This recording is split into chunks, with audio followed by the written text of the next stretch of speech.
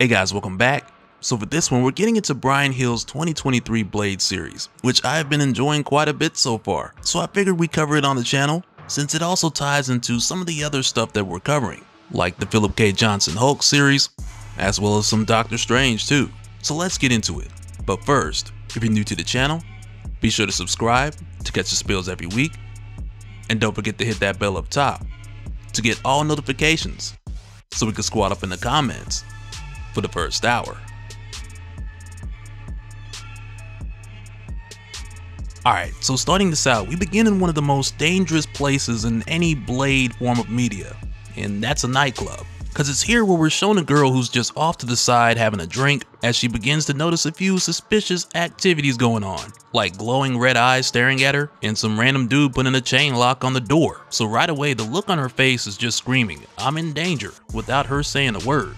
And for us, it isn't until she spills her drink on the table, where we see through the reflection of what she was drinking, this club is filled with vampires. So for her, like anybody who's in their right mind, she loses it. And she makes a break for the door that she just saw get chained up, by the way. But with how it's done, it's here where we get one of those moments where this is when she realizes that she's trapped. But out of nowhere, a car comes crashing into the club with bright UV headlights hitting some of these vampires and causing the others to combust into glowing embers, with this clearly being the over-the-top entry for Blade. But as he steps out the car, he immediately recognizes this girl, because as it turns out, he's been looking for her for some time. And we'll get back to the reason why in just a little bit. But first, as soon as Blade gets here, he just starts wrecking these vampires. And it's not even a ton of them that he has to fight, because for the most part, aside from the vampires who were killed upon entry, a ton of the other vampires knew that this was Blade, so they just took off running. But after finding this girl, Blade just tells her to get in the car, so of course she has questions. But he tells her that they can talk on the way, so right there, she's like, on the way where? And he just tells her on the way out of here. And after they leave, it's in this conversation where Blade tells her who he is, and she's asking him why is everyone after her, which is a question that he does not have the answer to. But when she asks Blade why is he helping her, it's here where we get the backstory of why Blade was even looking for this girl in the first place. Because as it turns out, just a week ago, Blade got a call from Tanaka, who at the time gave him a very cryptic explanation to this girl's whole situation. Because back at her place, her boyfriend is pinned to the wall with all sorts of swords and knives after the two of them were attacked by something so Tanaka shows Blade a picture of the girl. He tells him that her name is Dana Smith, and the bottom line is that the Werewolf Nation needs Blade to protect her from whatever this thing is. And the reason why Blade is even doing this is to make good on the favor he owes this guy, but that's it. So Blade asks, is she a werewolf as well? And Tanaka tells him, no, she's just important, charmed. And he goes on to tell Blade that there's been a shift in the second world, which is the world of your vampires, werewolves, and specters, and if Blade were a full blood, he would have felt this shift as well. And as it stands, the elders of each nation, they're not exactly sure about what they're dealing with, but what they do know is that this girl, Dana, she's in the middle of it, and she needs to stay alive. And as far as the thing that's hunting her, they don't have a name for it. He's part occultist, might be immortal, but they're not really sure where this guy's from. So to summarize the mission, Tanaka wants Blade to find Dana first, kill whoever it is that's coming after her, and call it a day. But for a moment here, Blade looks at the boyfriend who's pinned to the wall, and he tells Tanaka, oh yeah, one more thing. This guy is not dead. So Blade just kills him quick and clean, and he more or less tells Tanaka like, okay, let me get this straight. You're looking for an assassin who can turn dead bodies into undead weapons. He's chasing a girl, you don't know why, and if he kills her, the world ends. And Tanaka's like, yeah, that's pretty much it. So Blade's like, fine, he'll find the girl and bring her back to him. But the rest of whatever this is, it's Tanaka's problem from there. But just before Blade leaves, he lets Tanaka know that if he finds out that he's lying, he won't be able to howl fast enough. Cause if that's the case, then Blade's gonna have to track him down like a post-credit scene. But jumping back to the present with Blade and Dana, it's here where the two of them arrive at Tanaka's house, and at this point he's trying to get her to share some kind of details, cause he has no idea what he's up against, and he's putting his neck on the line with no clue of what this assassin is capable of. So Dana just tells him she was on her couch with her boyfriend, this thing showed up, it killed her boyfriend, so she ran. But the thing is, at this point, she's told him that already, and he definitely heard her the first time. But what he's trying to ask is what did the man who killed him look like? and it's right there where the assassin just comes crashing in from above, which really is one way of answering that question. But right away, the assassin, he starts speaking in a language that Blade does not recognize. But at the same time, with this dude drawing a sword, that part sends a clear message. So Blade tells Dana to get behind him and him and the assassin go toe to toe for a while. And it even gets to the point to where this assassin nearly kills Dana. But before he does, Blade's able to handle it, save Dana and take this guy out. But as soon as Blade kills the assassin, he finds out that something was hiding inside of this girl the whole time. Cause come to find out, this is the primordial demon, Adana. And Blade just killed what was the only person who could destroy it. But more specifically, this sword is the only thing that can destroy the Adana. And the assassin who had came here just to do that trained his whole life learning how to use this weapon. And now he's gone. So in a single quick motion, Blade just takes her head off, only for her to catch it before it even hits the ground. And it almost seems like he was just calling her bluff real quick, cause she already told him the sword that she's holding is the only thing that can kill her. so Blade tried it, he tested it, and it didn't work. So she goes on to tell him, while holding her head in her hand, moments before she puts it back on, that she's come to destroy the first and second worlds to form a new one. And Tanaka served her well, cause he told her all he had to do was point Blade at something he could hate, and from there Blade would just do what he does. But after saying this, the Adana goes on to express how she's intrigued with Blade, and because she likes him, she'll allow him to live, long enough to see how all this ends. And you can tell that it's mainly based on the idea that Blade's the Daywalker. He's the half man, half vampire hybrid who the Adana doesn't want to kill just yet, but instead just really observe and see how he handles certain conditions throughout the course of this. And we immediately see this in play, cause she tells Blade, I'd like to hear you scream. So she sends the broken glass that's laying on the ground flying directly into him, and it gets him to scream, or at least what passes for a scream as far as Blade goes. And right there, the Adana tells him, I like the way you scream, Eric. You'll heal, you always do. Find me if you want. I'd like to hear that scream again.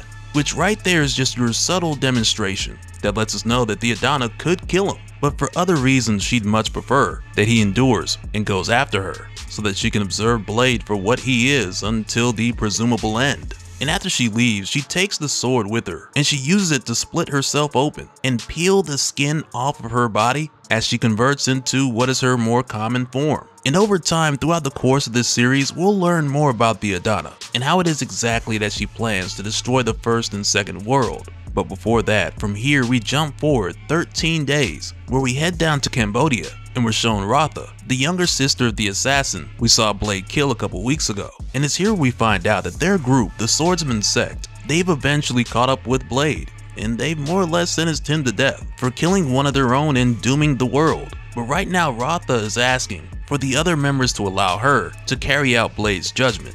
But these guys are like, nah, we about to take our time. As they go on to try and serve him a slow death, but out of nowhere, Rotha just slaughters the other members of her group, and she goes on to tell Blade that they only have minutes before more of these guys show up. And when they do, she won't be able to take them all. So she tells him before she cuts him down, she needs him to promise that he's gonna help her stop the Adana from ending all creation.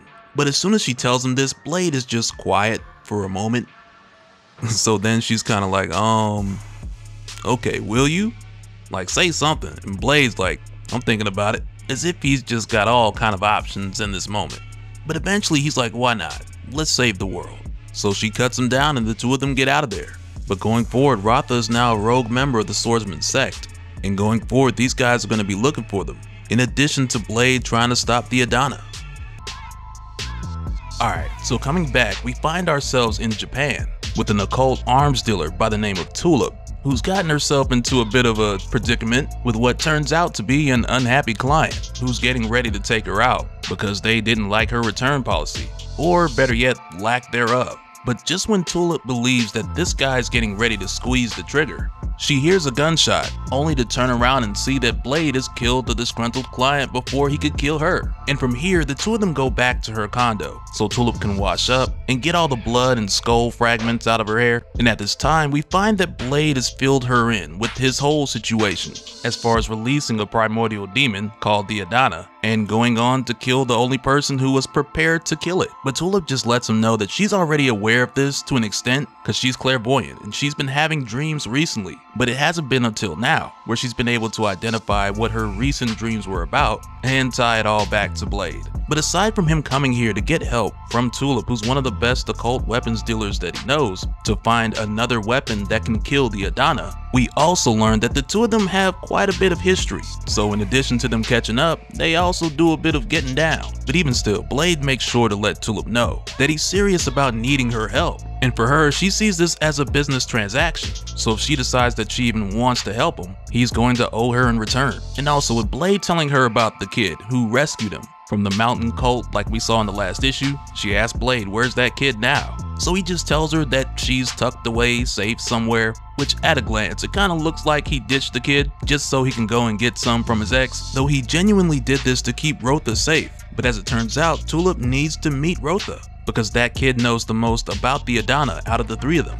And if Tulip is gonna help Blade find the right weapon, she has to know what exactly it is that Blade's trying to kill and in the middle of this talk, an attack chopper just flies up to the window of her condo, letting off a railgun and just tearing this place apart. Which again, just goes back to Blade's reasoning for taking Rotha somewhere safe, instead of just dragging her right into Tulip's very dangerous world. But also for Tulip, as a benefit of being an occult arms dealer, and perhaps more of a precaution than a benefit, she keeps a weapon stash, packed with guns and knives of all sorts, with each of them having some sort of supernatural enhancement. So Blade just grabs one, and he's more or less just like, hey, as long as this thing kills people, it'll do what he needs it to do. So from there, he just jumps out the window and into the chopper, serving one shots to everybody inside which takes care of these guys before he jumps back in. But in addition to them, there's also a ground crew who follows up right after by blasting through her front door, catching the two of them off guard and shooting Blade right back out the window, which from here creates an entirely new issue, cause these guys end up tasing Tulip and taking her.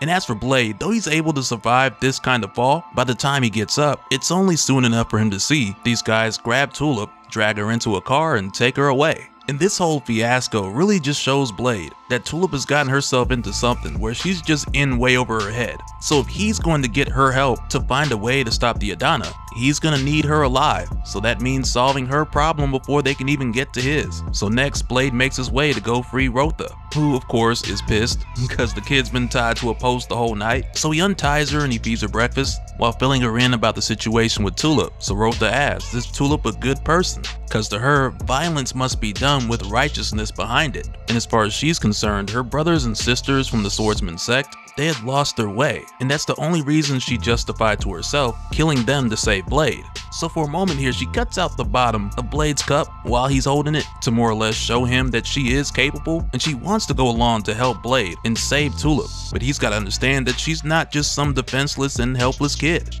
And in the case of Tulip, when we head back over to her, we find out that the men who are after her, they work for Lord Diado, because as it turns out, he bought some bullets from Tulip not too long ago that was supposed to be able to kill people and raise them from the dead, so that he could amass this crazy huge undead army, but come to find out, Tulip just sold him some regular bullets, because she didn't think that him having an undead army would be much of a good thing for anybody else. And the problem isn't so much that Tulip disagrees with Lord Dido, but it's more so the case of her taking his money and not delivering what she had promised. Which, I mean, sounds like a reasonable argument. But just before Tulip begins to get tortured to death, they hear a car explosion outside. So Lord Dido's men go to check it out. But as soon as they step outside, they start getting picked off with arrows by Rotha, who's really hoping that these are actually bad guys that she's killing. And meanwhile inside, with Blade making his way to Lord Dido, it's here where he properly introduces himself to Blade as the invader of thoughts and the conqueror of minds, which really in a lot of ways is our introduction to him, because otherwise all we really know is that he's super old, super rich, and super powerful as far as Japanese immortal crime bosses go. But to this guy's surprise, Blade is able to resist his mind control spell, which is something we've seen Blade do from time to time, but right here with Lord Diado asks, how is this possible? And how is Blade able to resist? Blade just tells him the same way that he always does, which is by getting pissed off. So he breaks free and stabs Lord Diado, with a solution that soon after causes his head to explode. But now with them finally getting both Tulip and Rotha to sit together and figure out what Blade is up against and what type of weapon he'll need, for a moment this still kinda has Tulip asking what exactly is in it for her, as if saving her life multiple times just wasn't enough. But it isn't too long before she shares with them a story about a sword that she says she's not sure if it really exists. But even with her saying this, Rotha can tell that Tulip truly believes that it does. So Tulip goes on to tell the story by saying when Lucifer was created, he was supposed to be the greatest warrior of God, with God creating the dichotomy of both good and evil and choosing Lucifer to preserve the order of all things. And to carry out this task, God gave Lucifer a special sword made from the matter of creation itself that he shared the same name with. So for that reason, the sword was named Lightbringer.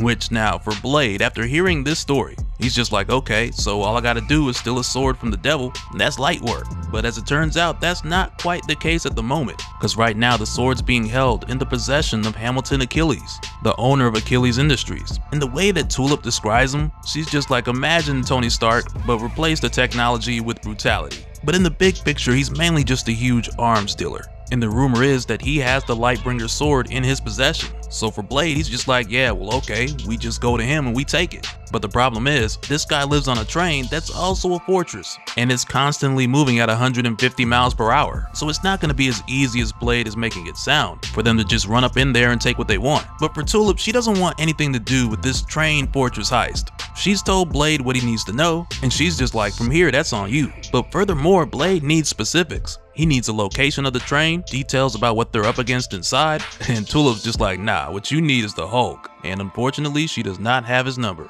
And the funny thing is, she tells them this whole thing is a suicide mission. So Rotha tells her that doesn't even matter, because if they don't stop the Adana, then it's the end of the world for everybody. So Tulip is just like, I'll be wearing Gucci and drinking a martini when it happens. Which, I mean, I guess that's one way to look at it. But also this conversation has Rotha asking Blade what exactly is a martini? Because again, this kid was raised on a mountain. So Blade just tells her it's water for grown folks. And just in the nick of time, he tells both of them to get down as a litter of arrows come flying through the window. And it shows us right away that this time, it's not Tulip who's being sought after. It's Rotha's brothers and sisters who've made their way here to find her and handle Blade, because they still believe that they owe him a slow and painful death after killing their fellow brother, who trained his whole life to kill the Adana. So quickly Tulip asked Rotha if she's cool with her killing these guys. So for Rotha, just like she told Blade, her brothers and sisters are lost, so she's not gonna try and stop her. So Tulip just headshots this guy, as Blade steps outside to handle the others. But when a few of these guys shoot their arrows at Blade, these arrows just stop in midair, and seemingly out of nowhere, a magic spell just knocks the rest of these guys out. And we soon after discover that all this magic is being done by Doctor Strange, who's made his way over to Japan to tell Blade, I hear you're the one responsible for our collision course with Armageddon. I'm not angry, I'm disappointed. Alright, so when we come back, we pick up from not long after Doctor Strange made his way to Japan to speak to Blade about him recently starting the end of the world. And right off the bat, Doctor Strange is ready to get down to business by just focusing on the solution because like we saw, Blade was already preparing to go after Hamilton Achilles, who's this super rich and evil collector that lives on a train with an adamantium chassis that rarely slows down below 180 miles per hour. And even though prior to this point we already got the rundown about Hamilton Achilles, at least in a general sense, back when Tulip told Blade everything that she knew according to her sources, you know, with her being an occult arms dealer and everything, but even still, Tulip wasn't completely certain about the specifics surrounding Achilles.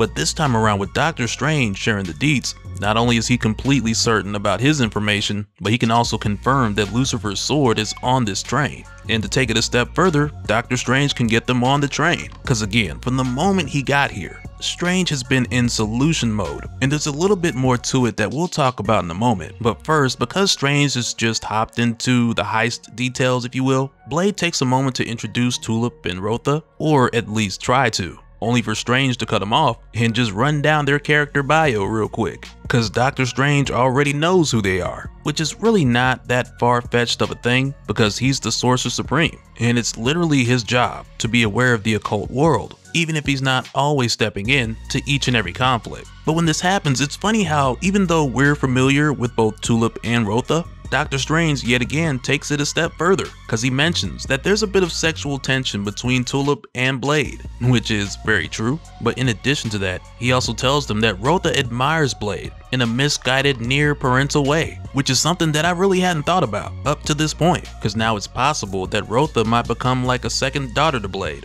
But again, Doctor Strange is sharing these details because these are things that he already knew. And from the looks of it, the three of them have already sized up each other's dynamics, so even without them talking to each other about these things, for the most part, they've already noticed the dynamics between each other. And even though Strange just got here, he's already aware of all of this, because he's the Sorcerer Supreme and that's his job. But even still, like we talked about in the return of Doctor Strange, there are some things that do get past him, so it's not like he never misses anything. But for the amount that he does keep up with, it's impressive. And so next, when Blade goes on to ask Strange if there's any additional information that he could give him on Hamilton Achilles, to more or less let Blade know what exactly he's walking into. Strange tells him that he's going into a situation that he's quite familiar with, because Hamilton Achilles is more than just an arms dealer with a crazy obsession for personal safety, but he is also a vampire, which for Blade, hearing this just has him like, oh, goody.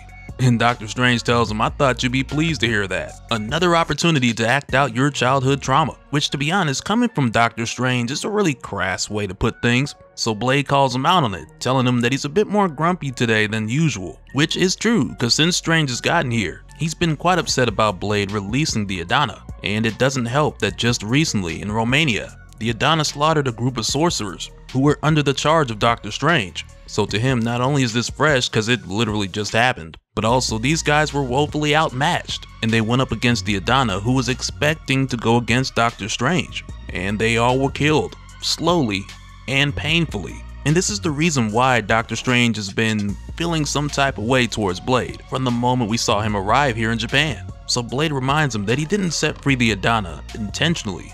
And Doctor Strange is more or less like, oh, oh, it was a mistake. My apologies, where are my manners? Which to me, that just feels like Strange going back to his usual levels of sarcasm. So from here, he opens a doorway for Blade, Tulip, and Rotha to make their way onto the train so they can take Lucifer's sword and use it to stop the Adana.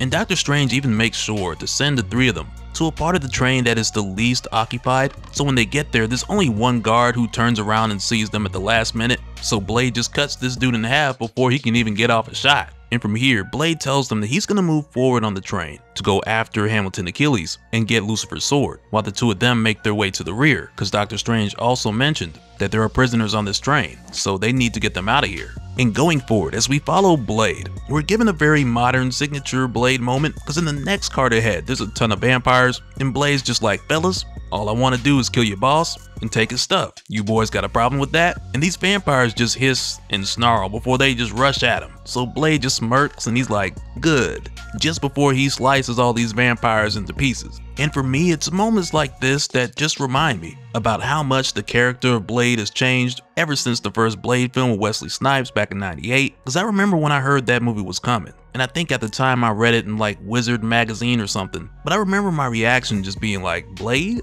The dude from the Night Stalkers? Because in the 90s, most of the comics I had were X-Men, much like any other kid. And back then, prior to the internet being what it is today, most of what I learned outside of X-Men, Spider-Man, Hulk, and a couple of Secret Wars issues that I had came from talking to friends, reading Wizard magazine, or collecting trading cards. So back then, everything I knew about Blade was from reading the back of trading cards, because nobody else I knew was checking for Blade prior to that movie. And in my experience, that changed drastically after. But enough of the rant, back to the story. Because right now, as Blade is making his way forward on the train, he hears Hamilton Achilles on the intercom, telling him that the Adana has spoken to him, and she told Achilles ahead of time that Blade would come. So going forward, he opens the way for Blade to approach and speak to him face to face. But for a moment here, we go back to Tulip and Rotha, who've made their way to the rear of the train to free the prisoners who are pretty much food, locked away waiting to be eaten by Hamilton Achilles and his staff. And it's not until now where Tulip realizes that all of these goons are vampires, and it has Tulip more or less saying that hey, Doctor Strange failed to mention that all of these guys were vampires. And in Rotha's case, she more or less assumed as much when Strange first told them about Achilles, so Tulip makes the adjustment. But when we go back over to Blade, who's explaining to Achilles that he's come to borrow something that he's never gonna give back, which is a polite way of saying that he's come here to steal Lucifer's sword, Lightbringer. But for Achilles, who's been instructed by the Adana to anticipate Blade's arrival, he didn't know until now what specifically Blade was after. And now that he does, he tells Blade that this sword is going to change him. And that's all part of the Adana's plan. But also for Achilles, with him just finding this out, he's not quite ready to part with one of the rarest artifacts in his collection. So for that reason, he doesn't let it go without a fight. And while they're here fighting, the Adana is talking to Achilles right now. And just like we were told by Tanaka in issue 1, Blade's not able to hear her because he's a half-blood. So right now as the Adana is talking to Achilles, he tells Blade that her voice sounds like music, and it's really one of those things where her influence is so strong on Achilles that she instructs him to delete himself. So he does it right away without hesitation. Cause again, the Adana doesn't want Achilles getting in the way. She wants Blade to take this sword. And as soon as Achilles is gone, Doctor Strange shows up, telling Blade that this is wrong and to give him the sword. But Blade refuses to, cause from what he knows, this is the only way to stop the Adana. So Strange tells him that he saw what's coming and it's something that neither of them want to happen, which in a way just lets us know that Doctor Strange is aware of quite a bit more than what he's sharing. And he even admits in a way that he's being very intentional as far as the ways that he's able to actually help Blade. But right now, Blade is just saying that he can handle it over and over until he drops to his knees. Strange lets him know that's the pride speaking, because the Lightbringer's the sword of Lucifer himself, and though it's immensely powerful, whoever wields it, they inherit Lucifer's pride as well.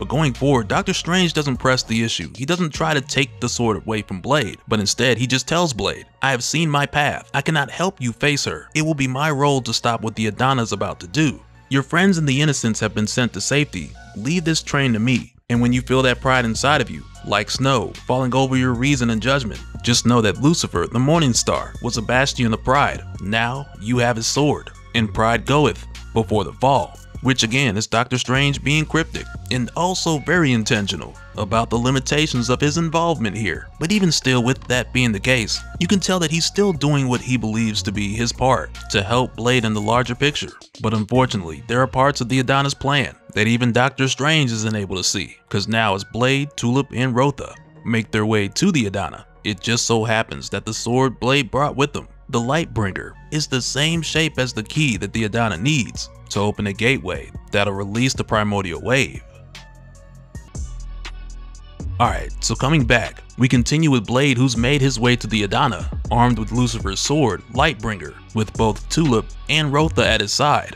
But as we dive in here, we find that everything's gone dark, and all Blade hears is the voice of Doctor Strange asking, what do you remember? But right now, Blade is just trying to gather himself, because he only remembers bits and pieces of what happened after he got here with Tulip and Rotha, because he remembers Tulip shooting, as well as the Adana breaking his wrist and taking Lucifer's sword. And the only thing Blade knows for certain is that he walked right into a trap. So he asks Doctor Strange, what did the Adana do? And right now, as soon as we look around, there's nothing but bodies everywhere. So Doctor Strange just tells Blade, the Adana used the sword to open a gateway that was acting as a dam against the primordial wave and Doctor Strange didn't realize what the Adana's intent was until it was too late. Cause right now, all over the world, the Adana has awoken occult powers that have been dormant in people far and wide, with this primordial wave being released, similar to how the Terrigen Mist would unlock Inhumans' dormant abilities.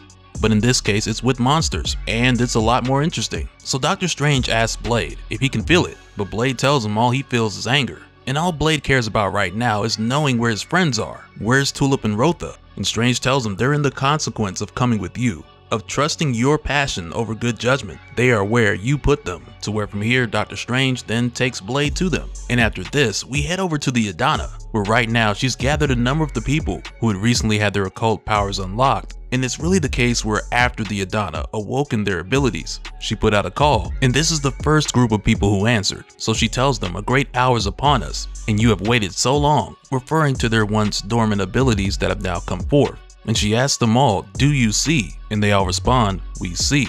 And she goes on to tell them, you have come to me, but you do not know me, what I am. I am Adana, the great mother of the dark. I am evil, but the word has lost itself in the weakness of time. This world believes evil is an unkind word. The governments of man at war, the petty cruelness of the fragile human soul. Evil is so much more than what this world fears. Evil is more than a messiah's despair on Roman wood. Evil is the source of all things. It is the light that is a lie.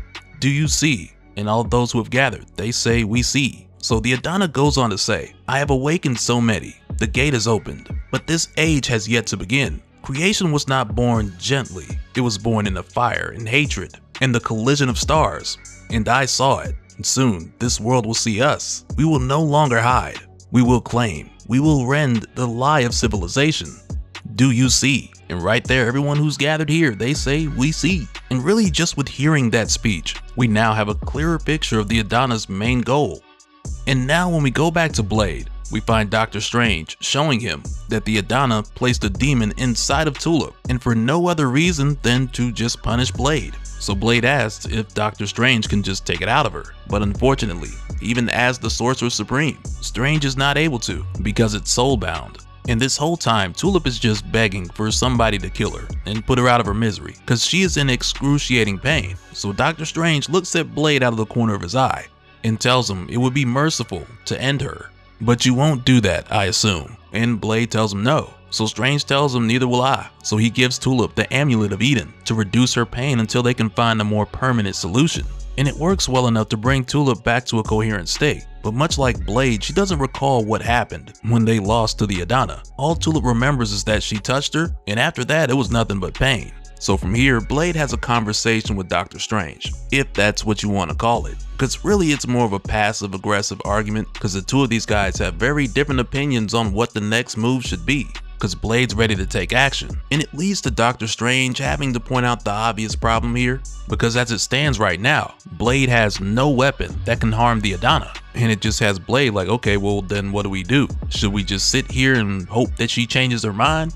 And Blade even asked how many people were harmed because he didn't stop the Adana from opening that gate, and Strange tells him it was many. So Blade tells Strange to stop being a coward and put him wherever the Adana's at. Cause for Blade, the thing is he's just ready to do something before more people are hurt or the Adana progresses even further. But for Doctor Strange, the way he sees it, they need to have a plan. So he tells Blade what they need to do is take a step back before they make their next move forward. And I mean, I gotta admit, I'm with Strange on this one. But Blade's just not trying to hear that. So he knocks over an expensive vase while telling Strange to take him to the Adana before he breaks something else. Cause if he needs to, he'll break everything in his room. But Strange just reassembles it while telling Blade that he can break whatever he wants and Strange will just put it back together. But Blade goes on to get a bit more specific by telling Strange that he's in the room too so he's one of the things that are gonna get broken. So right here, Doctor Strange gets ready to send Blade off to the Adana, and it's not at all because of the threat, but instead it more so leans into something we've been talking about in the comments quite a bit lately, because a lot of you guys have noticed that Doctor Strange is just tired of people. And that's really what's going on here, because first he tells Blade about himself, and he lets him know how everyone just thinks that Blade is so stoic, and Strange is like, nah, Steve Rogers is stoic. You, Blade, are a jackass. And from there, Strange goes on to explain the situation of what needs to be done to get Blade to the Adana, but you can very much tell that Strange thinks this is a dumb idea, but he's gonna go ahead and let Blade do it. He's just simply stepping out of the way. And he goes on to let Blade know that the Adana can move between realms, and the place that she's at now, though it's not literally hell, the conditions of this realm are very similar to it. So Doctor Strange ends up sending Blade there. Because for Blade, his plan is pretty much, you know, just send me to the Adana and I'll handle the rest. And there's really not much more to it. And as Blade lands in this realm, one of the first things that he notices is that the ground is saturated with blood. And soon after, he's greeted by the Adana, who tells Blade right away that Strange was wrong about this place when he mentioned earlier that it's not actually hell, because there are many hells, and this one is hers. So she makes sure not only to make that correction, but also make that distinction clear as well. Because since Blade has released her, she's been growing stronger by the day. And in fact, she made this little dimension just so she could wait here for Blade, which she admits is a bit extra. But right here, unexpectedly, she just tosses Lucifer's sword at Blade's feet, giving him the opportunity to get revenge for what she did to Tulip. So without hesitation, Blade picks up the sword because he's trying to end this anyway. But when he leaps towards the Adana with the intention of thrusting this sword through her, she just stops him in midair with the wave of a finger as she lets Blade know that she's not interested in finding him again and doing the age old, same old, monotonous song and dance. Cause to her, conflict is pointless. Day fades into night and the night is here. So she tells him, rather than trying to fight her, he should be asking what it is that she wants. Cause it's few people who actually ask that question. And at first for Blade, he's just like, hey, I don't even care. Cause he just wants to find a way to destroy her and be done with it. And even without Blade asking, the Adana goes on to tell him that she just wants freedom for all things. Because when everyone's a monster, there are monsters no more. And that just had me like, man, well, that's a good point. And after that, she just tells Blade, I have no issue with you because you are another thing I'm here to save. So you can go back to your world. You will not see me again. Our business is done. This is goodbye.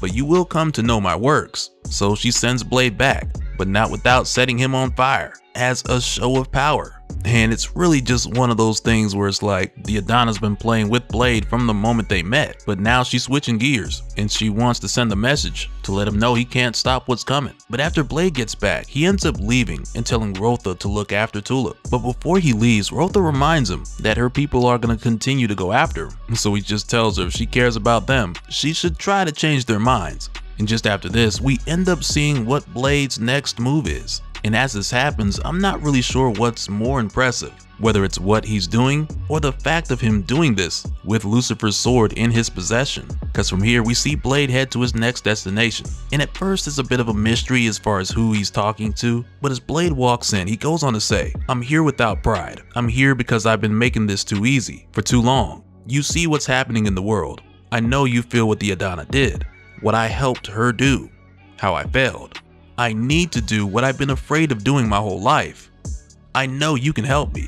Sometimes I think you let me win because there are things you're afraid of doing too. Power, even you are afraid to take. I am not afraid anymore. Show me everything you know about what I am. All of it. No rules. Teach me. Cause it's here. When we find that Blade has made his way to Dracula so that he can teach Blade how to reach his full potential and how to win this war. Alright, so coming back, we continue with Blade, who's made his way to Dracula's home in Chernobyl to ever so humbly ask for Dracula's help with learning more about himself as well as how to win his war with the Adana. Cause like we've seen so far in this series, after Blade was tricked into releasing the Adana, the mother of evil, she has made it clear on a number of occasions that he is woefully underpowered, which has caused Blade to come to the conclusion if he's going to stop her, he needs to reach his fullest potential. So for Blade, it just seemed like the logical answer for him to go to Dracula, who not only knows what Blade is through and through, but he also has centuries of war experience that could aid Blade in the fight to come.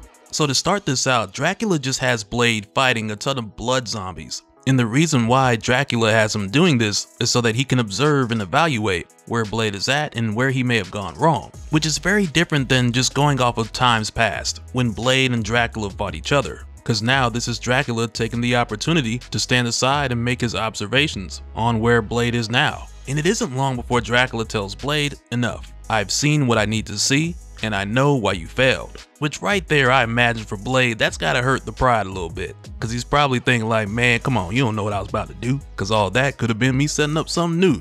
You don't know me. But just after this, the first thing that Blade says is, you never told me you can make blood zombies.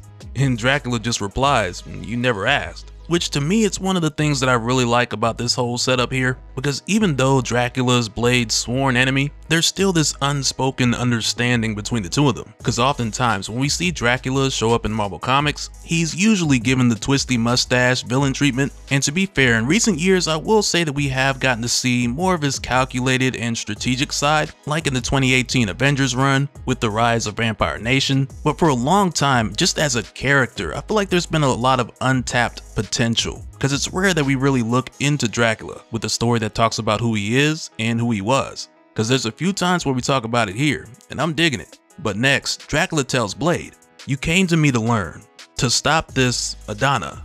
What do you think I can teach you? So Blade tells him how to use evil against evil. So Dracula's then like, I see, and you believe that I am evil. And I mean, right there, Blade is just like, well, yeah because there's not too many people who are gonna argue with that statement. But Dracula just goes on to let him know that Blade's problem is perspective. It's not power, it's not that he lacks the skill, but instead it's that he's blind to the forces that exist inside of him. And the Adana, who sees all, she knows this. So he lets Blade know until he embraces himself, he will not be able to destroy her. So for Blade, with him knowing that all the occult creatures from around the world can sense the Adana's arrival, Blade knows that Dracula was aware of her before he even came here. So Blade more or less tells Dracula that he doesn't think Dracula cares about the Adana or even her winning because he seems unbothered. But Dracula tells him it's dangerous to assume intentions. I love this world more than you can know. to where from there he tells Blade to follow him back inside, as he goes on to explain to Blade how they have more in common than he realizes. Cause there was a time centuries ago, before he became the Prince of Darkness, when he was Vlad the Impaler, and he fought against evil, using his sword and his anger, and he asks Blade, does any of this sound familiar? As he goes on to show Blade the armor he used to wear, while telling him, I wore this as a knight in the legions of the righteous. Evil first knew me because I hunted it. I fought for the God I believed loved us. I served his cross. I spilled blood to protect the world because back then I thought I knew what evil was. And then when I became this, I learned that I knew nothing. You need to learn what you do not know. So right there he turns around and tells Blade to attack him. And it throws Blade off at first, but not after long he realizes that it's time for another lesson. Cause now Dracula wants Blade to practice his anger. And the truth is, he's not worried about Blade actually trying to kill him here, because if Blade could have put Dracula down for good, he would have done it by now. And we're not talking about alternate timelines, like in Dark Ages when Blade killed Apocalypse and Dracula. But if you're interested in seeing that story, I got it linked in the description just below that like button. But in this case, there's a few things that Dracula's trying to show Blade. Because on the surface, he does want Blade to continue to fight with his anger. He wants him to use that. But also, Dracula's giving Blade a demonstration of how for himself, accepting who and what he is has completely changed him from who he once was when he was only a man. Because that's where he's trying to get Blade to step into.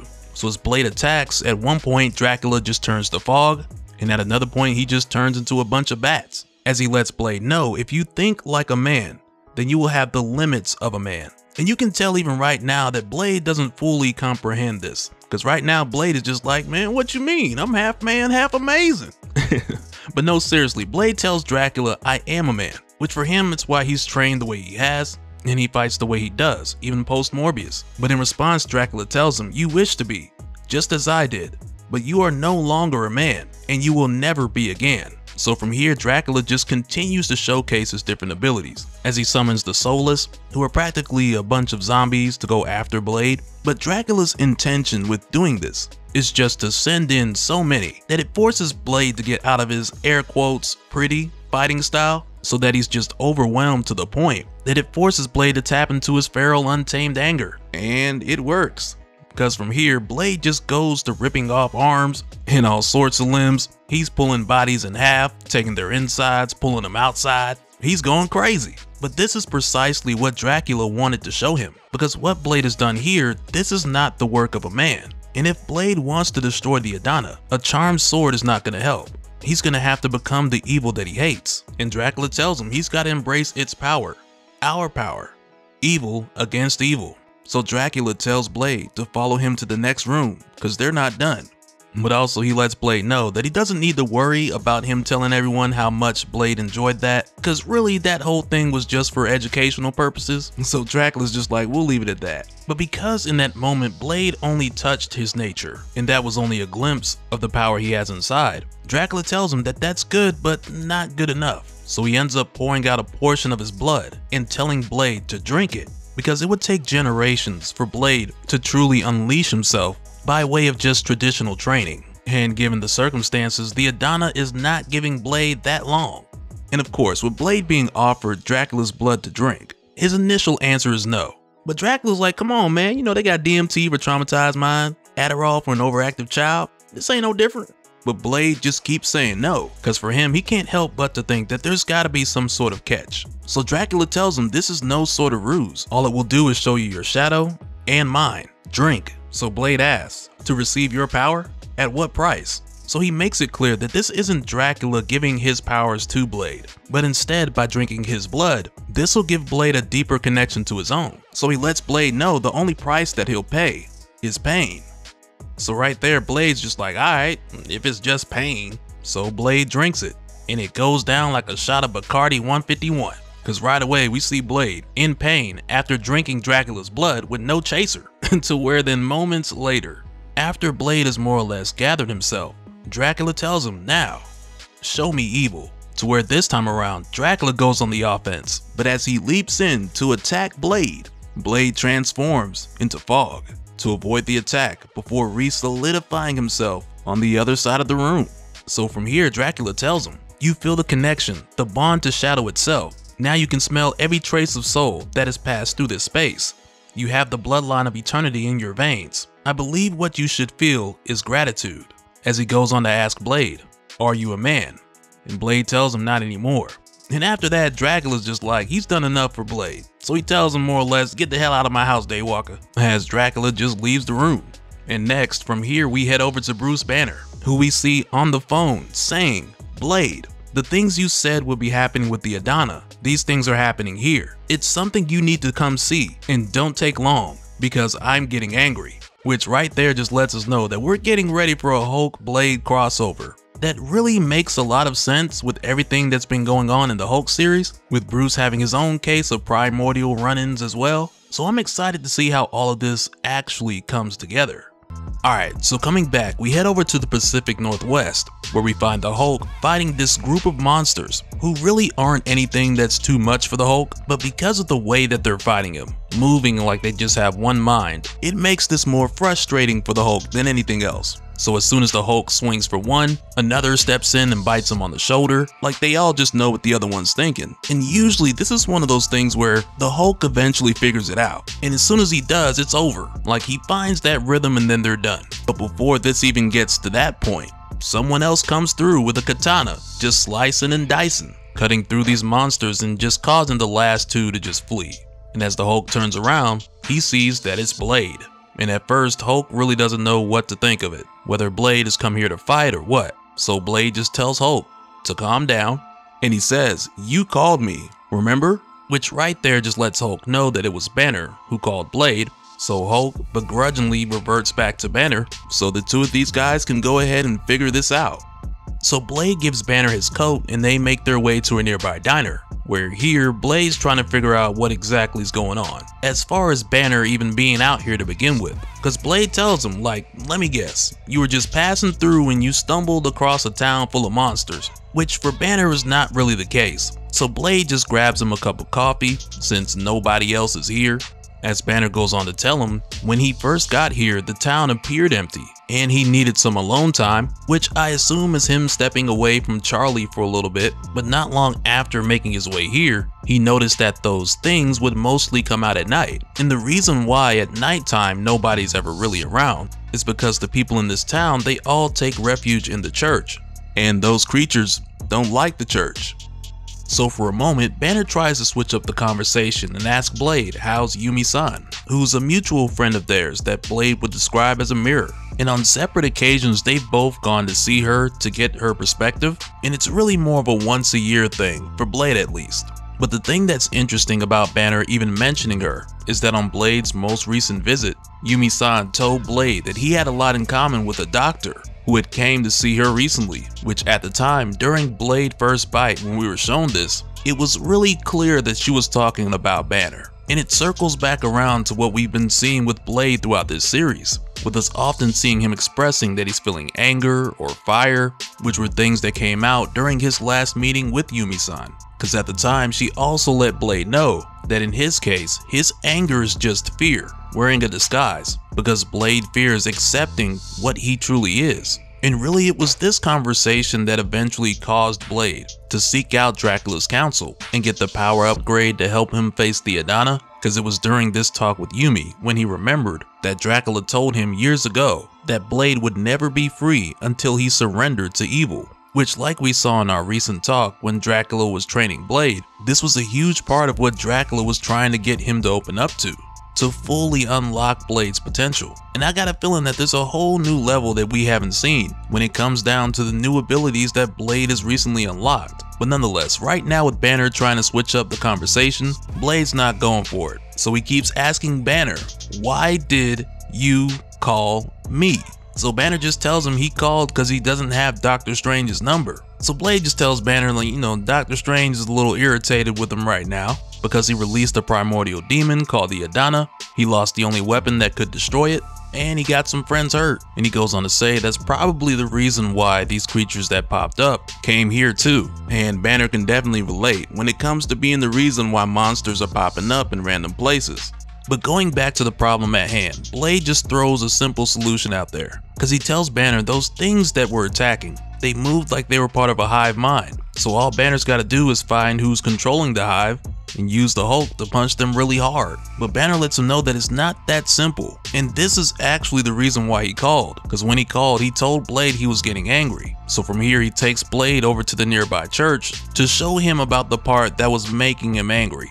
Because as it turns out, one of the couples in this town their son Ronnie went out running into the woods in the middle of the night. But when he came back, he wasn't himself. Because at first, he attacked his mom with a kitchen knife. Then right after that, he coughed up one of those creatures. And then he just took off. And over time, more and more of those creatures would show up at night, all around the town. And for a moment, the father who's telling the story, he looks at Banner and he tells him, like, oh man, Dr. B, I don't know how you made it out here to us in the middle of all that. We're right there. Banner's just like, well, you know, I'm tougher than I look. And the father's just like, what's inside my boy caused all this? Can you help me? Can you help us? Dr. B, you said you can help us. And right there, Blade is just like, did he? And he tells Banner, Dr. B, let me talk to you for a second. So the two of them go off to the side, and Blade is just like, man, that boy possessed. And Bruce is like, well, you see why I couldn't punch him? And Blade tells him, man, I'm not an exorcist. So Banner kind of flips it around because he tells Blade that he understands the science of this. So instead of trying to exorcise this creature out of this kid, he just tells Blade that everything has its own science. So in other words, just how do we solve this problem? Or better yet, just going off of what Blade knows, what would be the logical solution? Which for Blade, there's only two ways he can think of when it comes to someone being possessed. Cause for one, you can force it out with skill, which again is not his expertise. Cause if it were, I'm sure he would have been went back and helped Tulip. And the second option he comes up with is to get this thing to come out on its own. Cause if it's something you can talk to, then it's likely that you can bargain with it.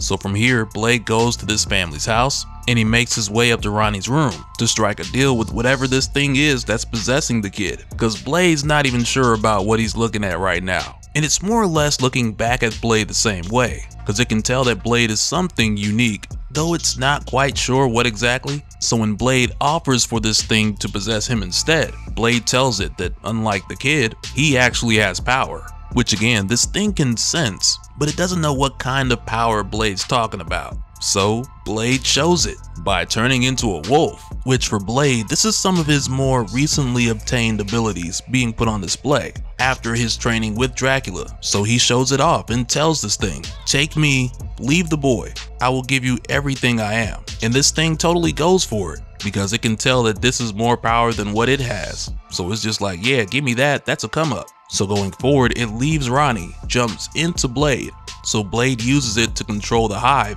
and lure all the other monsters out, away from the town, at sunrise, and Blade takes them all out to a nice open field where the Hulk's waiting. And after that, the Hulk just beats the mess out of these things, which is a lot easier now since Blade is in control of the hive. So he just makes them all stand there and take it. And when the Hulk's done, Blade just throws this thing up. Because really, from the time that this thing jumped into Blade, it knew that something was up. Because at no point was it actually in control. But just after Blade spits it out, Hulk steps on its head and that's it. And after this is done, Banner asks Blade if it was difficult keeping that thing from taking control, which then has Blade like, I can ask you the same question. But if you think about it, this is one of the places where the two of these guys are very different. Because for Banner, when he hulks out, he has no control. But when it comes to Blade, the angrier he is, the more control he has. And we saw an example of this back in issue 3, when Blade broke free of Lord Diodo's influence. So anger works really differently for the two of these guys, and if anything I'd say that it benefits the Hulk more than it does Banner. But just after this, Blade tells Bruce that he's leaving to figure out this whole situation with the Adana, which then has Bruce more or less like, well what does that mean? Because before, Blade made it sound like it was impossible, but as it turns out, when Blade had that creature inside of him, he saw where he needed to go. So Banner asked, what did he see? And as Blade rides off, he tells Dr. Banner, hell because now Blade needs to go to hell. And I imagine it's a different one than the bespoke hell that he visited recently. So from here, Blade rides off, and Banner's just like, in the end, I think that's where we're all going. And I'm just like, shoot, not me. But I do imagine with the way that Banner's story is shaping out, his conflict with the eldest is gonna take him for quite the ride. And I wouldn't be surprised if when we get to that point in the Hulk series, when the conflict expands like crazy, we end up seeing Banner visit somewhere very similar in the not too distant future. Alright, so coming back from our last talk, where we saw Blade answering Bruce Banner's call to help him out with an issue going on in the Pacific Northwest. We go on to follow Blade as he heads down to Los Angeles so he can get help from an old friend. And I do use the term friend loosely, because the next step in Blade's plan to defeat the Adana, it involves him going to hell and building an army of the damned. So to do this, he needs someone to help him get there. And I mean in a way that's easy for him to come back, because I mean anybody can help get to hell. but we talking about a round trip here. So to do this, he sought out the help of Satana, the devil's daughter, who also once upon a time was Deadpool's wife. And I don't know, it could be me, but it almost seems like we're seeing more Deadpool references just randomly popping up, or maybe that's just my mind looking for more Deadpool connections lately. But going into this, all you really need to know about Satana is that her and Blade have worked together in the past, like during the war at the Gates of Hell, when a sorcerer named Necrodamus was looking to give Hell an advantage against Heaven, so the two of them teamed up with Ghost Rider and her brother Damian to stop this. But over the years, she's definitely stood in that gray area between good and evil, like the time when Doctor Strange arrived in her all new, all different hell, and she tried to trick him by getting him to eat a piece of hell bacon, which was practically poison, so that Stephen would die there and his soul would belong to her. So yeah, with Satana, you really don't know what you're gonna get, because in the past, even when she's doing a good deed, underneath there's also a bit of a struggle because she's going against her devilish nature. But nonetheless, with Blade coming to her for help, to Satana, that's pretty much a clear sign that he doesn't have too many other options at the moment. So at first, even though she knows she's willing to help, she still can't resist the urge to tease him at first by taking Blade through the whole why should I help you song and dance. And Blade goes through the motions while also calling her out on her ego, and she doesn't even shy away from it. But I like how when this comes around to Satana telling Blade her decision, on whether she's gonna help him or not. There's a moment here where she tells him that he didn't even go to Strange, and he came to her because he's running out of friends. So Blade tells her, I'm not your friend. So in response, Satana tells him, beg on your knees and I'll consider it. And Blade doesn't even budge. And to be honest, I'm surprised he didn't cuss her out right here. But after this brief pause, she lets him know that she's kidding. To where from there, she goes on to explain the details of what needs to be done. And to start this out, first she tells Blade, Hell is seductive in ways people don't understand. The fire and pain, it's there, but God-fearing people miss the point. Hell is permission, the kind of freedom that Earth could never provide. Well worth the pain. And she goes on to let him know that she can get him there with a little bit of magic, but it's the getting him out part that's a little tricky. So to make this work, Blade's gonna need a tether, someone who's pure, someone on this side who he trusts, who also trusts him. So clearly for reasons expressed earlier, that person's not gonna be Satana. And she knows this because she's aware that Blade doesn't trust anyone, but it also has her asking Blade the question, who actually trusts you? Which from here now takes us back over to Japan with Tulip and Rotha, where much like what we saw before, Tulip is still recovering from their previous encounter with the Adana. So right now, Rotha is just keeping an eye on her until Blade gets back. But while they're here, Tulip tells Rotha that she doesn't have to babysit her. And Rotha responds like Blade said I needed to protect you. Almost like it's in a way where she's saying these are my instructions, I've got to do this. So Tulip just kinda calls her out on it by telling Rotha she notices there's some type of paternal energy she's picking up from Blade. And we know that Tulip has noticed this for some time now, but right here she feels the need to warn Rotha about trusting Blade because for Tulip, the way that she sees it, that's what got her in the position she's in now. Soul-bound by the Adana, who punished Tulip in order to get under Blade's skin. So for Tulip, in a number of ways, she feels like she's learned her lesson from her past relationship with Blade and more recently fighting alongside of him. Because either way, you get too close, you get hurt. So now she's just trying to warn Rotha about what could happen to her because she sees Blade as a father figure. And granted, at first, Rotha doesn't even know what the word paternal means, and it's not that she's too young to understand, but it's more of a translation barrier. So Tulip explains it to her. But as soon as she does, Rotha denies it, because she remembers her father. He was a good man and he died when she was a child.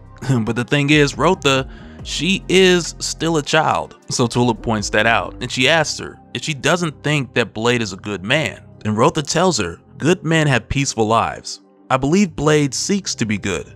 That makes his life more difficult. Which in of itself, that statement is very true about Blade. And even further beyond the traditional sense of a noble man trying to do the right thing, because we saw earlier how he uses his anger to avoid being mind controlled. And it just goes to show when Blade doesn't use his anger, when he doesn't use the evil so to speak, he's not tapping into his full potential. So for Blade, by not using the evil within and hating that part of himself, he's making things more difficult for himself than they could be. And this is precisely what Dracula was trying to get through to him while teaching Blade about his own true nature and how to unlock his full potential. Because to do this and reach the level of power that he needs to defeat the Adana, he needs to be the evil that he hates and embrace its power. He's got to use his anger. So when it comes down to the question of if Blade's a good man, the truth is he's still trying to figure that out himself. And I also think this goes back to what Dracula said about Blade's problem being perspective because until Blade truly understands what good and evil actually are, he won't understand himself and he'll never defeat the Adana.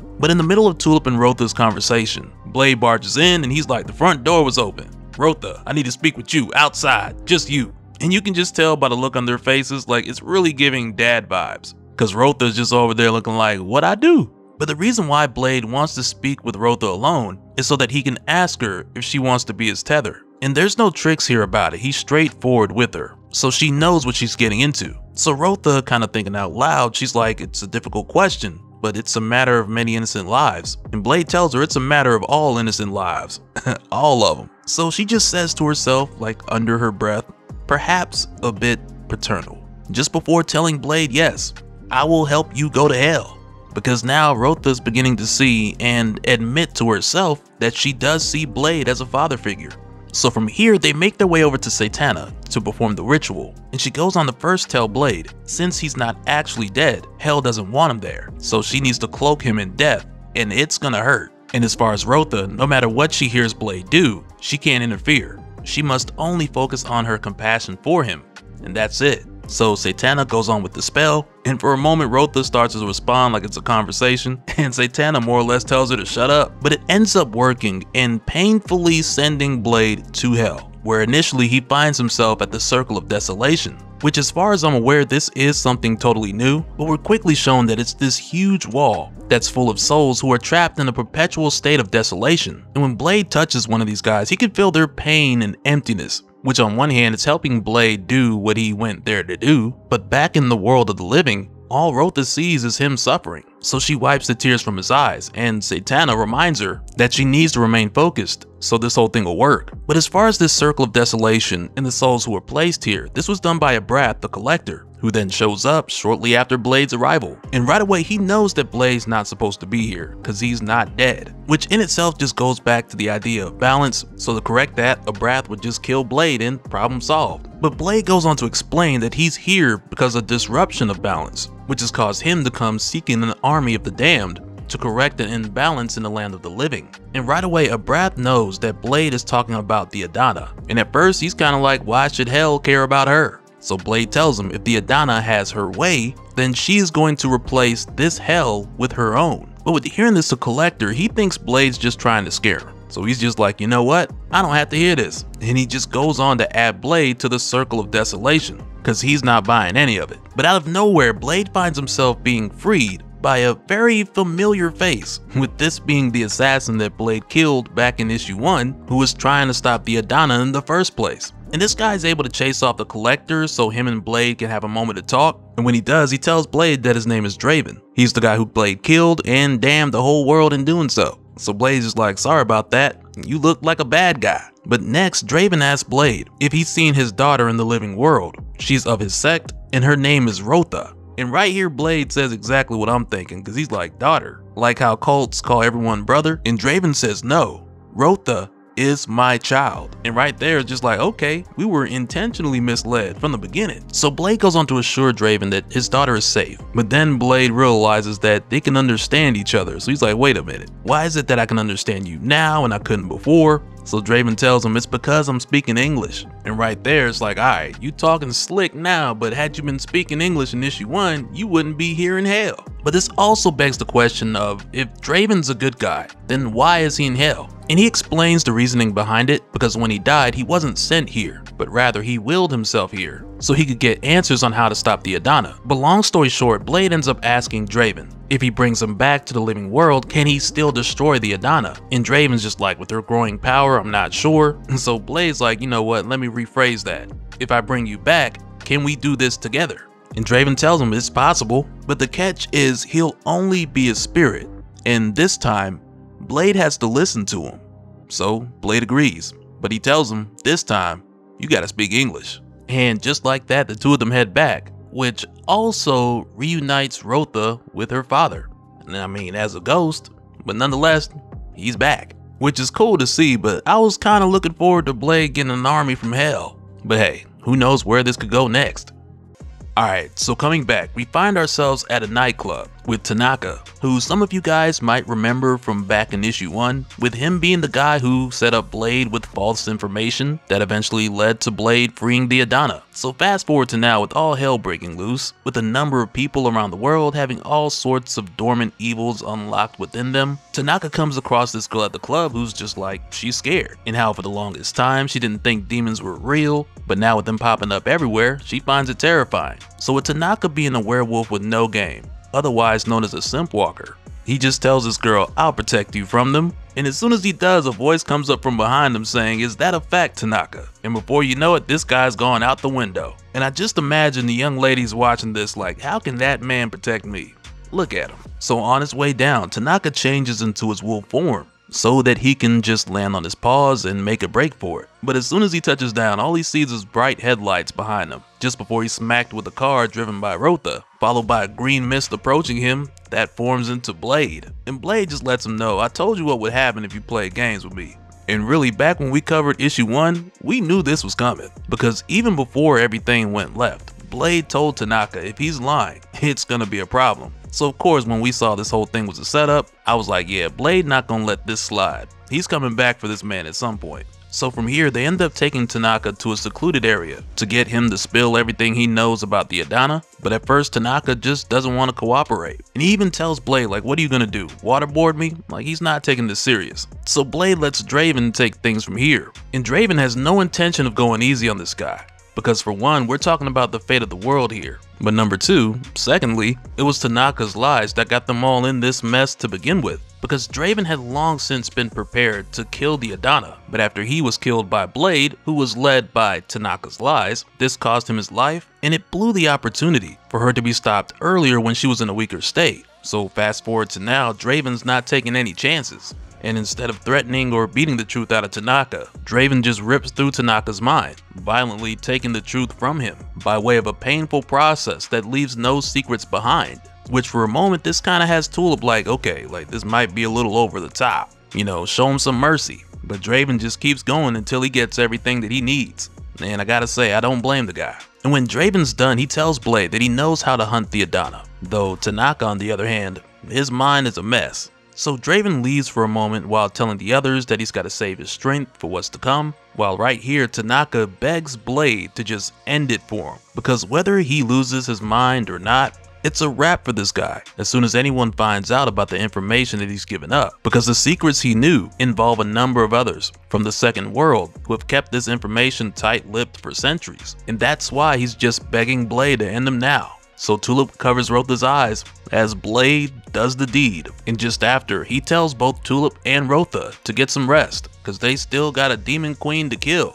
And following this, we see Blade go to have a conversation with Draven, where again, Blade lets him know that he feels bad about killing him, you know, this whole thing being a misunderstanding. And Draven does tell Blade that he forgives him. And it comes off for Draven like it's easier to accept the defeat and forgive Blade than it is to think about what he's missing in the land of the living. But eventually in this conversation, Blade is like, okay, the Adana, how do I find her? So from here, Draven explains to Blade how her presence works after learning the truth from Tanaka's mind. So he tells Blade she is everywhere. She's in the heart of every man and woman who chooses evil. She embodies that, created by the universe to be living atrophy. She's in your rage, the satisfaction you feel when you cause violence. She believes she is the nature of all things, in many ways, she's not wrong. So in response, Blade tells Draven Like, you know, I meant literally. Like, where can I find her? You know, so I can kill her? Uh, appreciate the poetics though. So Draven tells him, I was a fisherman. And right there, Blades is like, okay, so you're dedicated to being hard to talk to, huh? Cause Blade just wants to know a location. But Draven assures Blade that if he follows his words, this will lead him to where he wants to go. And I'll admit, with the way that Draven is about to explain this, this is one of the rare moments where I feel like the long-winded answer is actually the best way to convey this message. Cause Draven goes on to say, I was a fisherman. Fish feel the water move and they avoid the boat. They disappear into the sea and the hook goes hungry. Because fish don't want to be caught. So you need to give them something they do want something that will make them ignore the boat. Which then has Blade asking, so how do I put a worm on a hook? And Draven tells him, the Adana is a creature of arrogance. The weakness of arrogance is pride. Wound her pride, and she will come for the boat. But be certain you can manage the hook. Which right there is enough to put a smile on Blade's face, cause now, he's got a plan. So next, Blade makes his way back to Satana who at first she can't believe that Blade's asking for what he's asking for. Because after coming here, he's told her that he needs a way to make everything evil in the world want to kill him. Because in theory, if Blade draws enough attention, he can provoke the Adana to come for him. And when she does, he can use that same arrogance that lured her out against her. And though Satana's a bit hesitant at first, she eventually tells Blade that this might work. But at the same time, it could also blow up in his face because if Blade succeeds at getting all that is dark to come after him, there's a chance that they could be too much for him to handle. And to take it a step further, even if he can handle them, who's to say that he can actually defeat the Adana when she shows up? So Blade just tells her that he's more of a cross that bridge when I get to it kind of person. So nonetheless, she agrees, and she goes on to give Blade the details on where he can do the most damage which after this sends Blade to a sacred location that's only supposed to be known by full-blood creatures of the Second World, which is a place called the Archives of the Second World.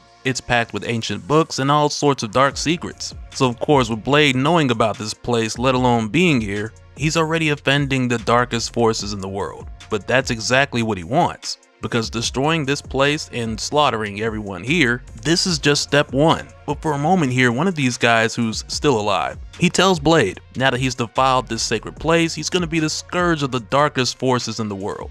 so Blade's like, are you sure? Because I need you to be sure. Cause again, that's exactly what Blade's going for here. And Blade even goes as far as to ask this guy, what happens if I kill you and burn this place down? like, what'll that do for me?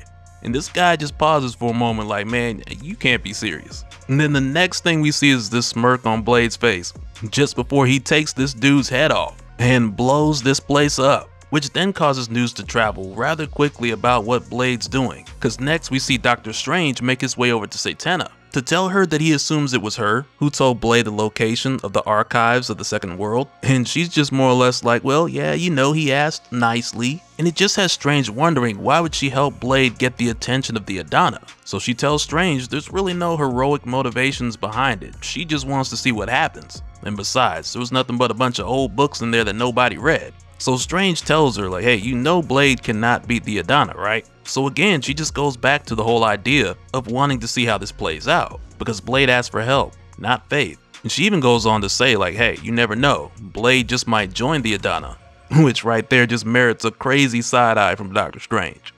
But from here, right away we're shown that Blade's plan is working, because a number of creatures and beings from the second world they've made their way to the Adana, looking for her to give some type of response to everything that Blade's doing. And because the Adana's seen her people coming to her in fear, with Blade inviting war on himself against all darkness, only to have the Adana do nothing, she takes this as a huge sign of disrespect, so she flames this person. Because for the Adana, a lot of this it is pride, but also for her. Back in issue 5, when she unlocked the dormant occult powers in a number of people across the world, this was her showing them who she is and how she was going to make evil and darkness as prominent as the light. So now, after showing this to her people, only to have them turn around and be like, well, what about Blade? To the Adana, this is like the highest form of disrespect, because even after she's shown them her truth and her promise, they are still afraid. So the Adana, she just burns this one and she's like, you can keep burning until your screams satisfy me. But she goes on to tell the others to spread the word, cause she will honor their needless traditions by going forward to destroy the Daywalker. Which from here just leaves us the finale, where Blade will face the Mother of Evil one last time. Alright, so coming back, we pick up with Blade, who has recently put his team together to take down the Adana. And like we've seen, this team consists of members like Tulip, who's Blade's ex slash off and on love interest. Then aside from her, there's Rotha, the young skilled archer, who looks to Blade as like a father figure.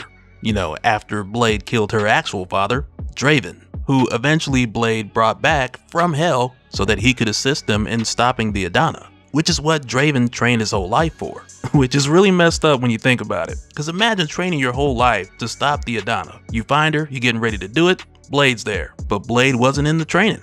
And it's like, man, he put all his eggs in one basket and it cost him his life. But nonetheless, he agreed to help Blade, and he even went as far as to come up with the idea of how to bring the Adana out, which essentially is by provoking her until she shows up. So to bring her out, Blade and the others have had to kill a lot of her followers, in hopes of getting her attention. And that's what we find them doing here at this point in Athens. But also, as a result of Blade burning down the archives of the Second World, which not only was a sacred location that had been holding rare artifacts and books for centuries, which are all gone now, but to the vampires and the creatures of the Second World, those who knew of the archives, they saw it like it was a holy ground, which held much of their history, only to have Blade come through and destroy it completely. So of course, as a result, a ton of creatures from the second world are coming after him for payback. And this is precisely what they want, because it falls in line with Draven's plan to have Blade fishing for the Adana by provoking the creatures of the second world as a way to get her to focus on the bait,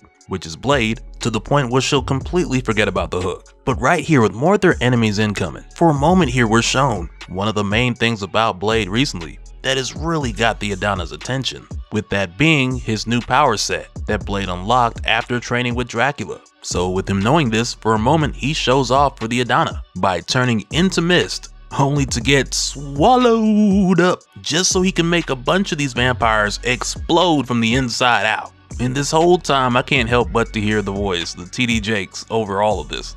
Like, have you ever been swallowed? Like over it the whole time. Cause in a weird way, it kind of fits the whole Dracula vampire thing. But either way, you guys let me know in the comments.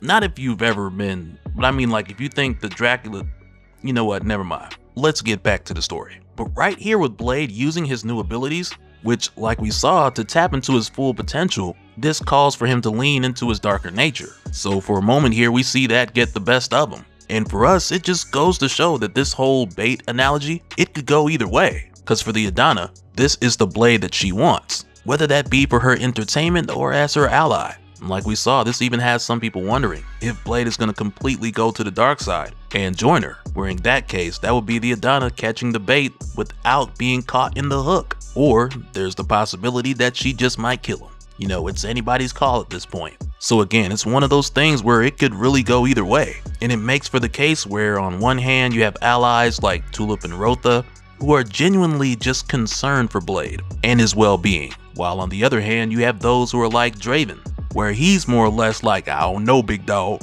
you might have too much dip on your chip, cause if Blade actually loses the part of him that's good, there's no telling where things will go from there. But the next thing we see here is Satana show up. Because for her, after telling Blade where he could find the archives of the Second World, on one hand, she didn't actually think Blade was going to burn it to the ground, but at the same time, she's worked with Blade before, so she knows he's not the type to go in there and just kind of halfway it. But coming here, she lets them know that Draven's plan's working, because the Adana is watching through the veil of time and space, and her ego's provoked. So for a moment here, this just has Blade like I don't care how she's watching. But Satana manages to convince him that he should care, because the Adana's watching him through the veil of time and space. And because every link in magic works both ways, Satana now knows where the Adana is. So for a moment here, Satana's more or less like, yeah, you're welcome. Cause recently the Adana made her way to Earth, and now Blade can just walk through this portal and go straight to her. But before he does, he ends up telling Tulip and Rotha to stay here while him and Draven handle this. But of course, neither of them are trying to hear that.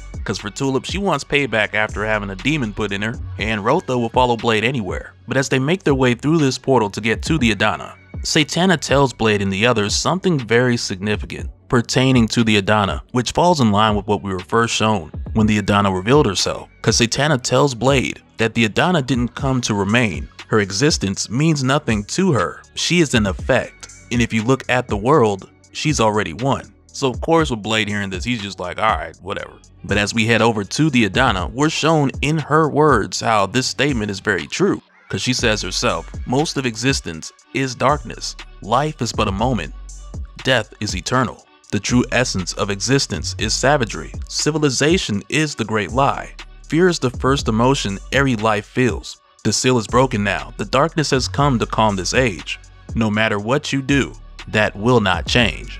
But we quickly find out that this monologue she's giving, she's telling all this to Blade, because she wants to make it clear to Blade before they get started. One, as she's described, darkness is already won, which of course has Blade like, maybe, but we're still gonna destroy you. Only for that to lead to the Adana's second point, which is that she's already destroyed him. And it flips the perspective of what's actually happening here on its head in a number of ways, because at first she tells Blade in a more practical sense what she means, since he now has Dracula's blood flowing in his veins, he killed Rotha's father, he brought Tulip along, only for her to get possessed, which has messed her up to the point where she can't sleep in the dark anymore. And then finally, he has the stink of hell on him, after heading there out of desperation in search of an army. But her main point here is that there's no part of Blade that's left that hasn't been touched by her. And without her saying it directly, it now begs the question of if the Adana's already won and darkness has already prevailed, then what is her true intention or what is her true goal? Because now, as it would seem, she wanted darkness to abound in Blade,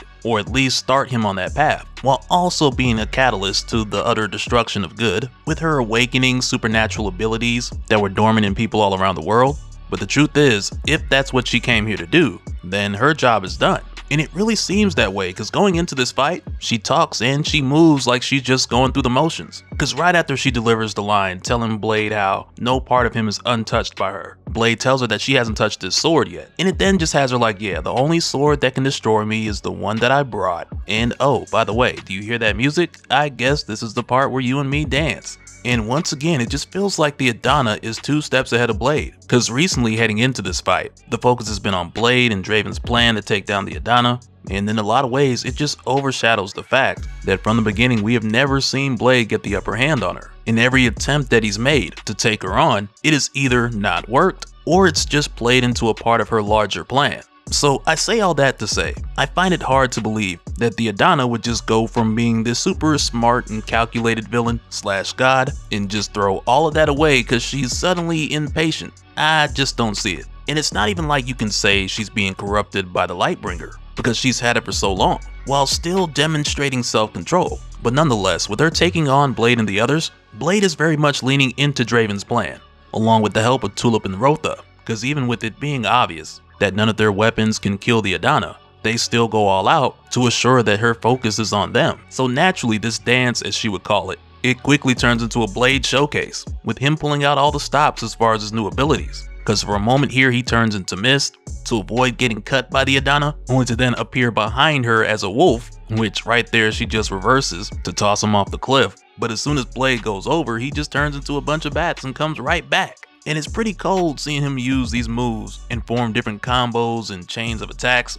because over time it's almost like it's become more natural to him, which in his case is kind of the dangerous part, with him risking the possibility of darkness taking over. But he keeps the chain going, because for a moment here the Adana's like enough of the tricks, so she hits his bats with the burst attack, so Blade just turns back into mist and pulls himself together on the other side. But when he does, he lets the Adana know that she's misplaced the Lightbringer sword, and as soon as he says this, Draven drives it right through her back which as mentioned before, this does destroy her physical form, returning her to a state where she's less effective. But before she fades away, she makes sure to tell Blade that he's done nothing, which of course doesn't seem to be the case because she's clearly in a state of discomfort. And even after this is done, Tulip goes the extra mile by emptying a clip on the Adana, which you can tell is totally personal at this point because it's over. But as things continue to settle, next, Draven leaves, now that his purpose has been fulfilled. But going forward, they also know what the Adana has set in motion, it's still happening. So for a moment here, Tulip, she brings it up to Blade and she asks him,